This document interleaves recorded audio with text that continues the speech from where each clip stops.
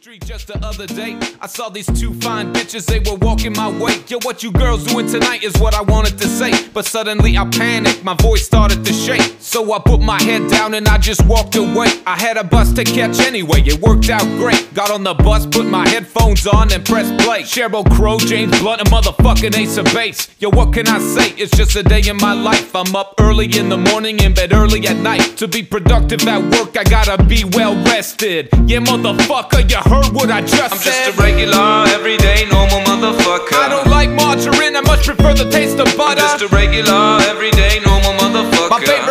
as a kid with Superman and Ghostbusters. I'm just a regular, everyday, normal motherfucker. I have a hard time opening my eyes underwater. I'm just a regular, everyday, normal motherfucker. And I'm not a huge Nicolas Cage.